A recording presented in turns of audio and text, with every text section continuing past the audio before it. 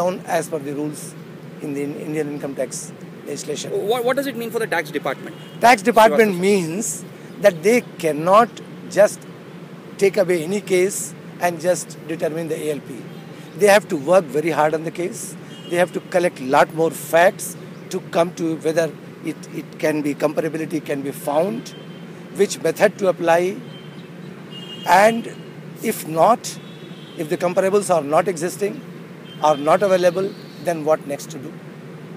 I mean, so it, it means a lot of hard work now for the department in real time cases where they need to make adjustment. Otherwise, no need to go in for adjustment in each and every case. Ajay ji, has the LG ruling effectively been struck down on many points? Yes, I points? think um, um, the majority view on whether it constitutes an international transaction is, I think, the one piece of the judgment.